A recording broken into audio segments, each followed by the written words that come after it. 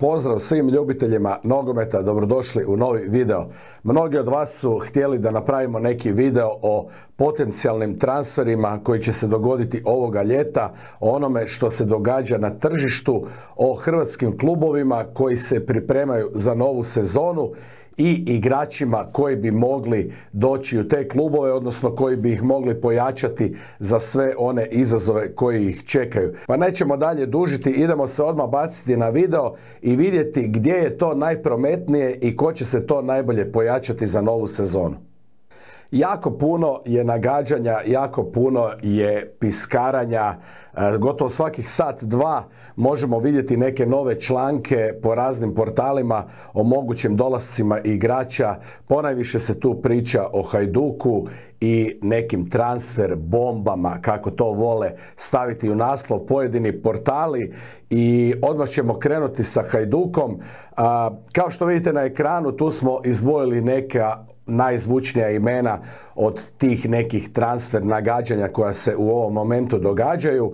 E, tako da najzvučnija imena su vezana za Hajduk, a to su Edin Džeko koji bi trebao iz Fenerbahčeja preći u Hajduk, barem se tako piše, i Ivan Rakitić koji bi se trebao vratiti iz Saudijske Arabije i doći u Hajduk. Ivan Rakitić ima 36 godina, Edin Džeko ima 38 godina u poznim su igračkim godinama e, na zalasku svoje karijere i e, jednu stvar kao što vidite na ekranu što sam napisao Hajduk e, po starome.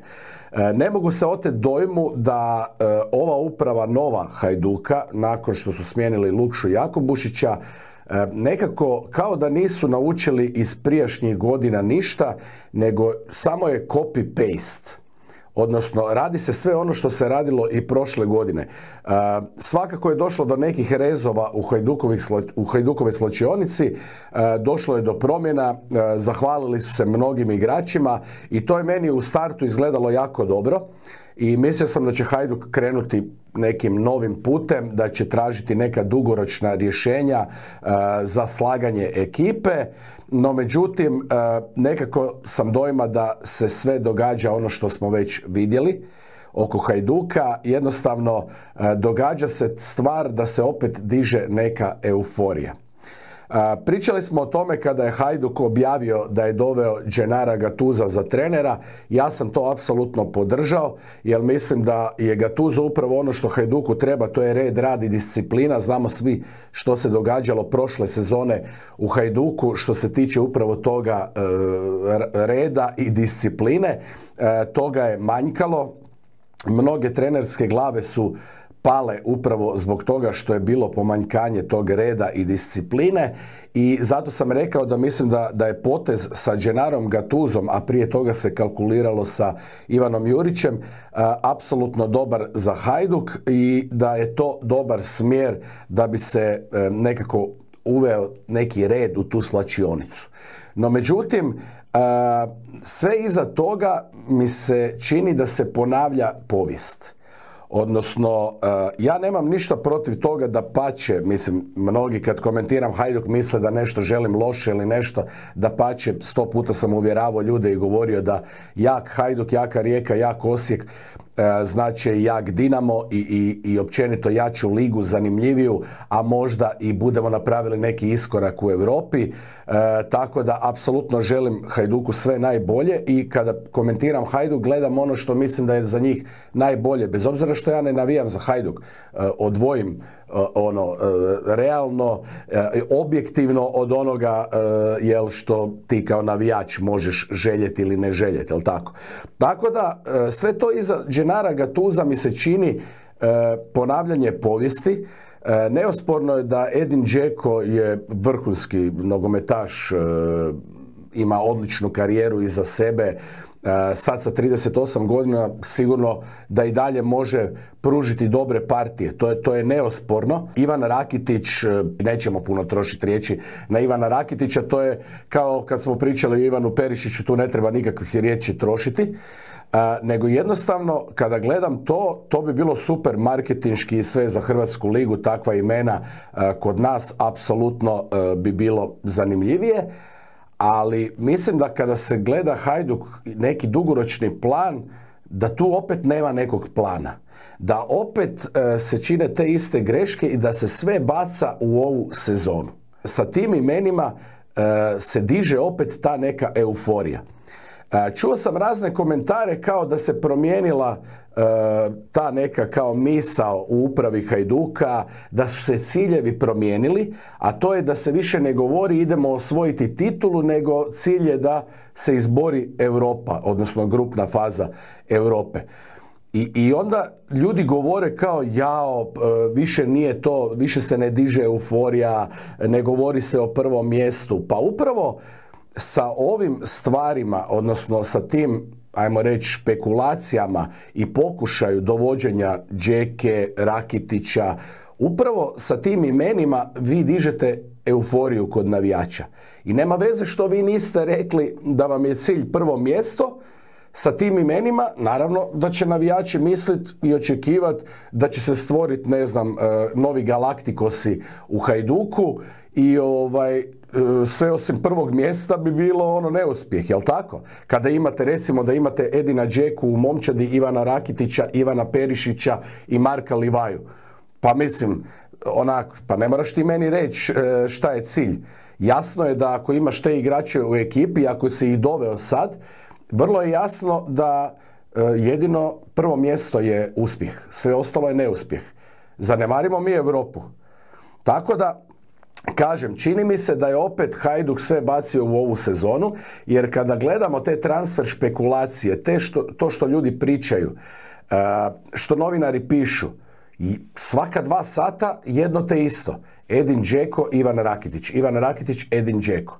Znači mi tu ne vidimo neke naznake da Hajduk razmišlja o nekim drugim stvarima, o nekim drugim pojačanjima, na nekim drugim pozicijama, da se neki mladi igrači možda dovode ili se misle dovest za budućnost. Da pače, vi, vi, imate u Hajduku uh, Čujića koji je otišao iz Hajduka, ima 21 godinu, otišao je u lokomotivu, napadač Hajduka znači za kojeg je svojedobno Ivan Leko govorio da je vrlo kvalitetan, agresivan, snalazi se jako dobro u šesnestercu, sipao je bombone iz usta za, za Čujića i sad vi imate di Hajduk se odriče tog mladog igrača Čujića i dovodi nije još doveo, ali priča se o tome da se dovodi napadač od 38 godina. Tako da ja apsolutno podržavam zbog Hrvatske lige, zbog marketinga, zbog svega, isto kao što sam rekao da mi je drago za Gatuza, ovaj, bit će vrlo zanimljivo. Apsolutno podržavam to sve, ali mislim da bi Hajduk trebao gledati i ono, dugoročno za budućnost.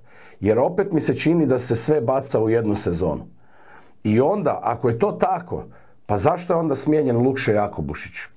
Mislim, ja, ja ne vidim Lukše Jako Bušić na kraju ako, e, recimo, da se dogodi da svi ovi igrači dođu ova velika imena u Hajduk i da se ne osvoji prvo mjesto. Pa Lukše Jakobušić onda ako gledamo je imao slabiju ekipu za svog mandata, jel? Ovaj, pa nije uspio to osvojiti, ali kažem, ne vidim zašto se on maknuo sa mjesta predsjednika. Mislim, ja sam komentirao i prije da je Lukša Jakobušić napravio jako puno e, za Hajduk i mislim da apsolutno je tu pogreška što se njega micalo. No dobro, šta je tu je, to se dogodilo, to je davna prošlost, sad već par mjeseci. Ovaj, ali kažem, e, ništa u politici kluba i, i u smjeru, u ideji se nije promijenilo, osim da se doveo trener koji je poznat po tome da voli red, radi disciplinu. Ali što se tiče e, transfer politike i, i nekoga slaganja ekipe, mislim da tu se ne gleda dugoročno, nego se gleda vrlo kratkoročno i opet mi se čini da se baca sve u jednu sezonu. I evo vi sad vidite zadnjih par dana piše se samo o ta dva igrača, što znači da je cijeli fokus Kalinića, novog sportskog direktora, Bilića, predsjednika, e, općenito Hajduka, cijeli fokus je na to da se nagovori Džeku i Rakitića da dođu u Hajduk. Znači, ni malo se ne razmišlja o drugim pozicijama, o mlađim igračima, o igračima koji će dugoročno igrati u Hajduku, koji će možda doći za jeftine novce, koji će potpisati jeftini ugovor u okvirima, hrvatskim okvirima, ono što se može podnesti, jel, što budžet Hajduka ili bilo kojeg kluba iz velike naše Hrvatske lige četvorke, ovaj, može podnest. Jel vi, moramo znati da Džeko isto neće sigurno ono, doći igrati za 50.000 eura. I Rakitić možda čak i smanji primanja i sve, ajde, zato što e, ima 36 godina, e, lijepo mu je doći u Split, e, uživat će i tako dalje, pa možda čak uzme i to u obzir, pa možda i neće neku, neki veliki ugovor tražiti, ali opet će to koštati više nego da ste uzeli nekog mladog igrača od 22, 23 godine, razvijali ga, dali mu neku solidnu, ok, plaću, razvijali ga i možda ga u budućnosti prodali. Jer kad gledaš ove igrače koje ti sad dovedeš, ti igrači će odigrati godinu dana i to je to. I, i ti nećeš moći njih prodat, nećeš moći na njima zaraditi, nećeš, mislim, tako da, mislim da transfer politika nije dobra, ne ide se u dobrom smjeru i ovaj, kažem, sve se baca u jednu sezonu i, i to je to. Tako da, recite mi slobodno što vi mislite o ovoj e, politici Hajduka i, i o ovome, kažem, dizanju euforije, ali opet je ovo meni dizanje euforije, bez obzira što, što nisu najave iz uprave idemo po prvo mjesto. Samim time što vi cijeli fokus ste bacili na to da dovedete ta velika imena e, u Hajduk, vi samim time dižete euforiju i dižete ljestvicu gore i očekivanja kod navijača. Tako da zanima me baš što vi mislite o tome. E, tako da to je to što se tiče Hajduka, nema nešto pretjerano nekih drugih nekih novosti, kažem, osim toga što su počistili dio slačionice, što su se odrekli jednog Čujića mladog igrača i što pokušavaju uh, dovest Rakitića i Džeku, nešto pretjerano nekih drugih novosti oko Hajduka nema. Uh, bacamo se sada na Dinamo. Dinamo, dosta je tiho, moram priznati, u Dinamu ne dešavaju se neke velike stvari, neke bombastični transferi, možda su navijači očekivali da će biti puno više oko Dinama. Ovaj, za sada ono što e, znamo je što se tiče e, dolazaka, e, znamo da Marko Pjaca je dogovoren i to je više manje sve dogovoreno, prošao je liječnički pregled i ne znamo što Dinamo čeka sa objavom transfera, ali navodno su neke sitne tehnikalije ostale oko ugovora. Pjaca je na odmoru i vraća se isto uh, kad i Bruno Petković Uh, mislim da je sedmi sedmi prije nego što se ide na pripreme u Austriju. Tako da Marko Pjaca je dogovoren. Uh, dolazi ovaj tjedan stoper iz Granade Raul Torrente to izgleda isto dogovoreno, on dolazi e, kao slobodan igrač, što veseli, jel, nije se ništa potrošilo na njemu.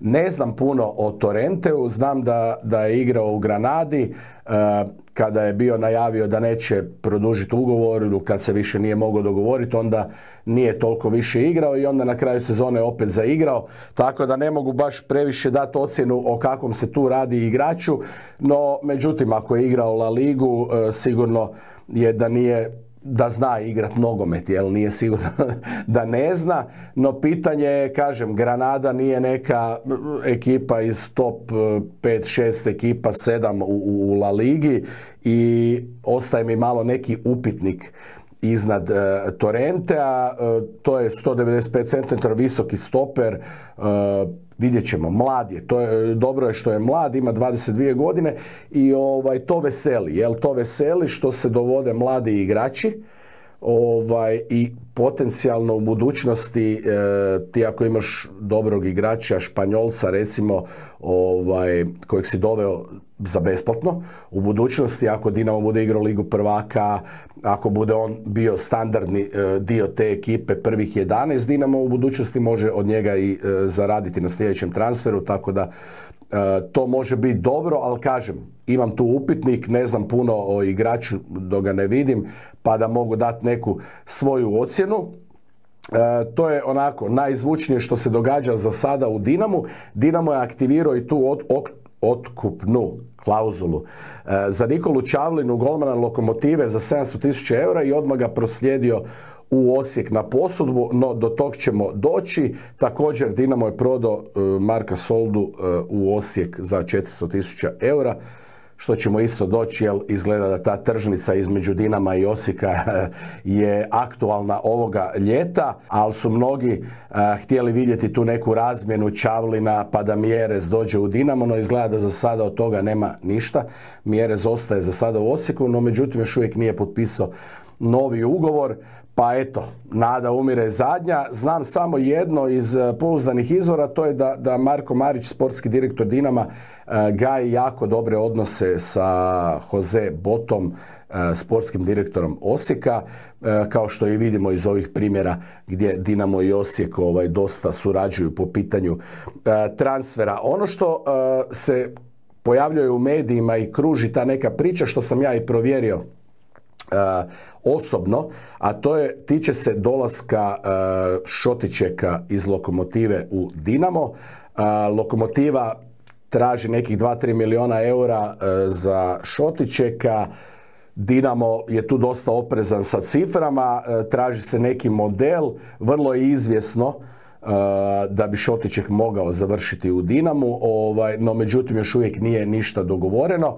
A, ako je završi u Dinamo, mislim da je to dobar posao zato što znamo da je Šotiček mlad, Šotiček je budućnost i e, možda hrvatske reprezentacije, spominjali smo ga u kontekstu toga i Dinamo znamo da e, Kaneko se vratio u Japan, Vidoviću je stekla posudba e, i mislim da e, Šotiček bi igrao na toj desnoj strani gdje je Dinamo ostao samo na špiki, kako ga ja volim zvat na špikiću ovaj, i praktički na toj desnoj strani Dinamo je tanak i mislim da bi onda Šotićek tu e, igrao veliku, veliku ulogu i gotovo sigurno bi imao zagarantirano mjesto u prvih 11. E, e, mislim, pojavljuju se tu još neke špekulacije vezano i uz Dinamo i uz Hajduk, nešto sad manje uz Hajduk, kako se Hajduk fokusirao samo na Edina Džeku, a to je Beljo e, da bi došao u Dinamo ili Hajduk.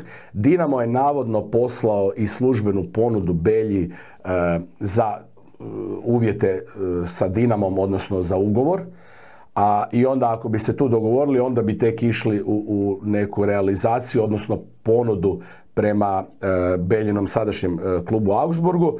Ovaj, tako da to je nešto što se pojavljuje. Sigurno je da Dinamo traži e, napadača jer e, sada dolazimo do toga, a to su odlasci. E, vrlo je vjerojatno da Bruno Petković napušta Dinamo. Postoje neke opcije serije A, Bolonja gdje je Bruno Petković već bio. vidjet ćemo šta će biti od toga.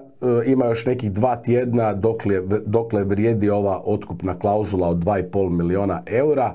Tako da, e, ali gotovo sam siguran iz onoga što ja znam, a vjerujte mi o Bruni Petkoviću dosta znam, ovaj, jer eto, e, ovaj, imam prijatelje koji su mu bliski.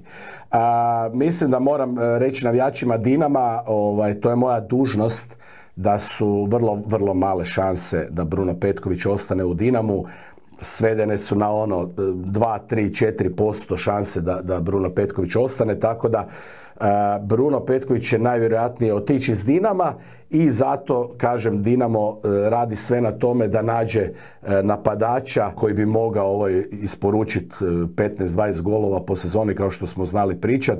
Ovaj, tu se Beljo nameće kao jedna od opcija. Kažem, ja osobno da se mene pita, ja bi dao sav budžet da dovedem Mjereza u Dinamo, ali mene se ne pita, tako da ostaje vidjeti šta će Dinamo napraviti e, na toj poziciji napadača. Također pričalo se i o slovenskom reprezentativcu Gnezdi Čerinu, koji jako dobro igra za slovensku reprezentaciju, član je Panathinaikosa. Nešto zadnje informacije govore da Panathinaikos je pripremio novi ugovor koji je puno veći od ovoga kojeg sad ima, a ovaj sad ja mislim nekih 200 tisuća eura godišnje, tako da sprema Panathinaikos puno, puno veći ugovor. Pitanje je da li će on pristati na to, a znamo i da Panathinaikos isto traži dosta novaca. E, ne znam koliko Dinamo e, je sad spreman izdvojiti novaca e, za njega i da li bi išao u realizaciju tog transfera. Bilo kako bilo, ostaje nam začekat. Znamo, transfer period traje, ljudi moji, sljedeća dva mjeseca još.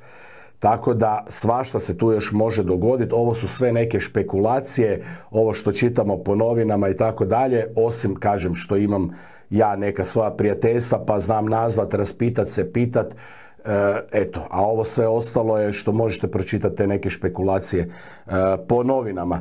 E, što se tiče ostalih nekih stvari u Dinamu, Dinamo je poslao neke igrače na posudbu, još treba vidjeti neke igrače šta će biti s njima. Što se tiče odlazaka, Bulat je odlazi u Standard Lijež kod Ivana Leke na posudbu. Pa ćemo vidjeti šta će biti kasnije, da li će se otkupiti njegov ugovor ili ne.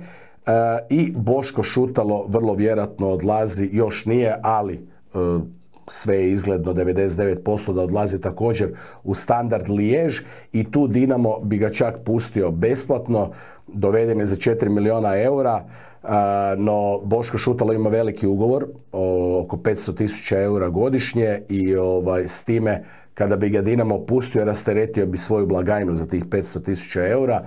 Ovaj, isto tako Marko Bulat ima približno tu cifru godišnje, tako da Dinamo bi tu rasteretio godišnju blagajnu za milion eura, pa nekad ovaj, nije sve u prodaji, nego treba i, ono, ako treba pustiti besplatno igrača, samo da ovaj, si makneš taj njegov ugovor e, i da ti to rastereti budžet. Uh, Emreli bi također trebao otići i još neki igrači. E, Petar Bočkaj traži isto svoje neko utočište gdje će, jer Jakirović na njega ne računa.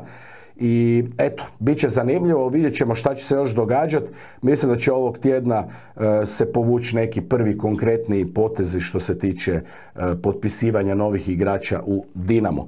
E, idemo dalje, idemo do Osijeka gdje je bilo najprometnije do sada. Jose Boto radi ovaj posao ono punom parom i sve mi se nekako čini što sam već bio razgovarao sa ljudima kad smo pričali tokom prijenosa utakmica. Jose Boto mi se čini da nekako radi ekipu koja bi mogla biti dark horse ove sezone, koja bi mogla napasti sami vrh HNL-a. Nekako mi se to čini, doveli su talijanskog trenera koji zna raditi sa mladim igračima i sada doveli su na posudbu Čavlinu ponajbolje golmana Hrvatske nogometne lige iz Dinama.